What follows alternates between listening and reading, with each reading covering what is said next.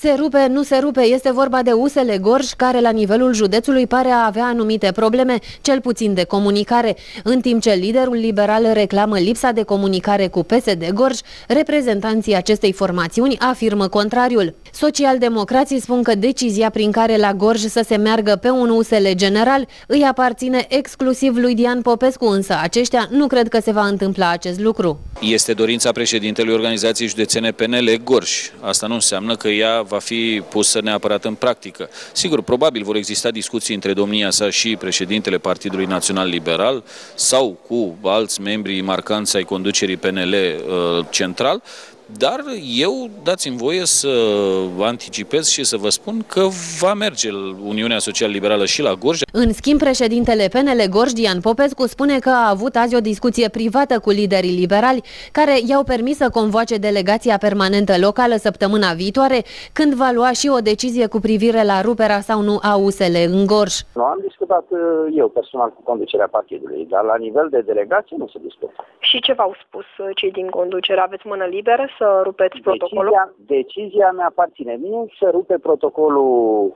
Total, am spus total. Nu... A, a, e, un, e un alt subiect. Socialdemocrații sunt însă liniștiți și spun că nu se va întâmpla nimic în sânul USL. Pe protocolul pe care l-am semnat în momentul în care s-a stabilit realizarea Uniunii Social-Liberale la Gorj. Deci pe cel general. Pe cel pe care l-am semnat, sigur. Nu acea paritate 37-33. A, nu, dacă vă referiți la, acea, la acel procent sau acea împărțire, Uh, sunt obligat să, să vă spun că nu am luat în calcul o astfel de împărțire. Cel puțin Partidul Social Democrat nu s-a gândit la așa ceva. Mai mult decât atât, liderul liberal Gorjan Dian Popescu se va afla și în sondajele pentru președinția Consiliului Județean Gorj și asta pentru că partidul îi cere, spune el.